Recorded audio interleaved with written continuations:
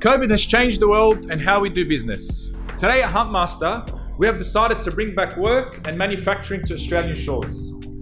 We'll be injecting an additional $1 million into purchasing CNC, injection molding, and tooling equipment needed to boost local manufacturing and also support local dealers and distributors. Over the last five years, dealing with international suppliers has come about with a lot of frustrations. These include loss of time, loss of money, loss of intellectual property, and consistency of quality. Bringing back manufacturing to Australia will remedy these issues. This will ensure consistent quality and also ensures continual innovation in products like our revolutionary handle.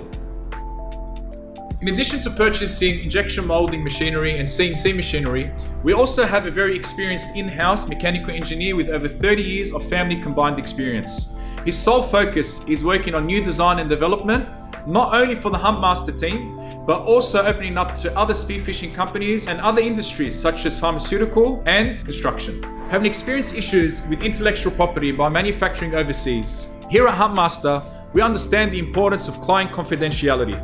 Be rest assured, your intellectual property will be protected so you don't endure the pain that we went through.